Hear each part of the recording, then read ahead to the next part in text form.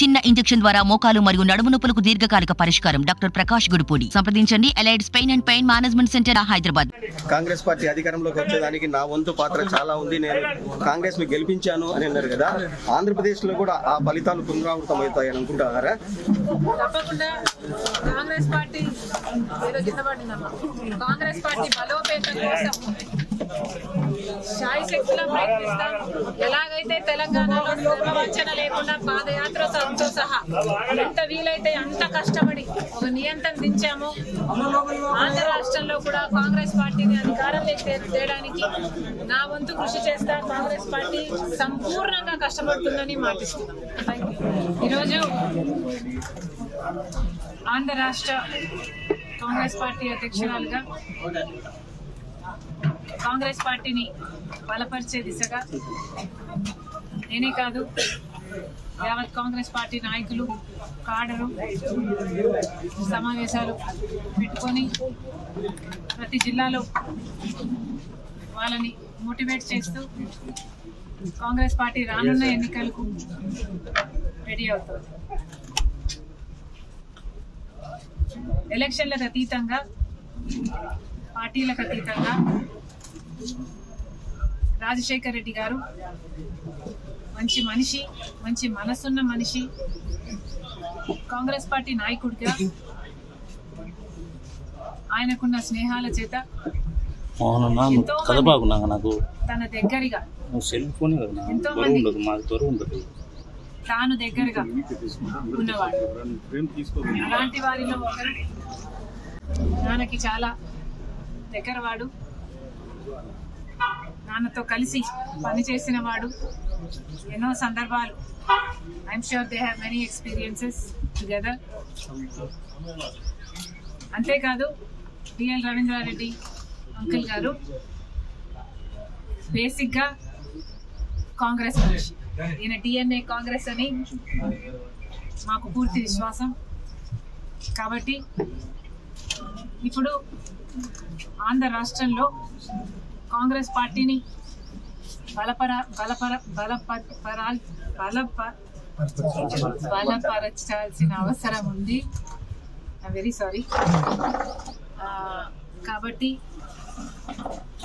అంకుల్ని కాంగ్రెస్ పార్టీలోకి సపోర్ట్ చేయడమే కాకుండా కాంగ్రెస్ పార్టీతో కలిసి పనిచేసి గెలిచే దిశగా ఈ ఎన్నికలు కూడా మాతో కలిసి పనిచేయాలని కోరడానికి వచ్చాం.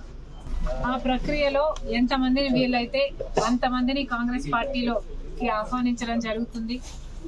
కాంగ్రెస్ పార్టీ బేసిక్గా ప్రజల మంచి కోరే పార్టీ కాంగ్రెస్ పార్టీ మాత్రమే.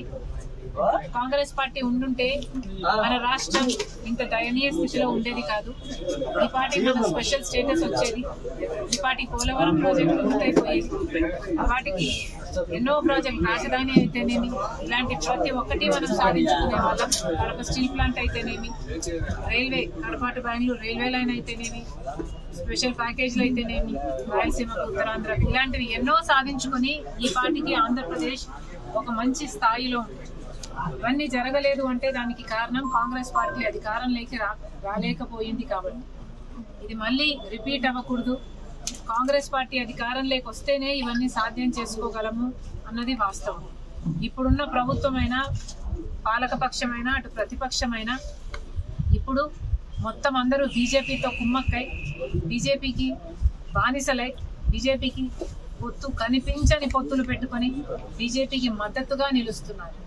ఇంత చేసినా కూడా బీజేపీ పార్టీ ఈ రోజుటి వరకు మన రాష్ట్రానికి ప్రత్యేక హోదా ఇవ్వలేదు పోలవరం ప్రాజెక్ట్ ఇవ్వలేదు ఈరోజు విశాఖ స్టీలును కూడా అమ్మేసే ప్రయత్నం చేస్తున్నారు. ఇలా ఒక్కొక్కటిగా ఒక్కొక్క ప్రాజెక్టు మనకి రాకపోగా ప్రతి విధంగా మన రాష్ట్రాన్ని దిగజారుస్తున్నారు. ఇంత అన్యాయం బీజేపీ పార్టీ ఆంధ్ర రాష్ట్రానికి చేస్తున్నా కూడా ఇటు జగనన్న గారు అటు చంద్రబాబు గారు బీజేపీకి తొత్తుల్లా బీజేపీకే మద్దతు ఇస్తున్నారు ఇది తగదు.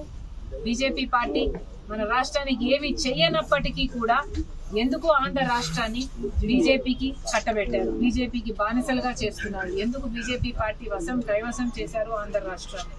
ఆంధ్ర రాష్ట్ర ప్రజలకు సమాధానం చెప్పాలి. ఇది ఇలాగే కంటిన్యూ అయితే చాలా ప్రమాదం.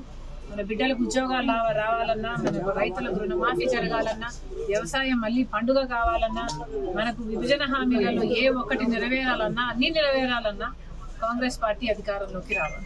మరిన్ని వీడియోస్ కోసం ఛానల్ సబ్స్క్రైబ్ చేయండి. లేటెస్ట్ అప్డేట్స్ కోసం వాట్సాప్ ఛానల్ ఫాలో చేయండి. అండ్ లింక్ డిస్క్రిప్షన్లో ఉంది.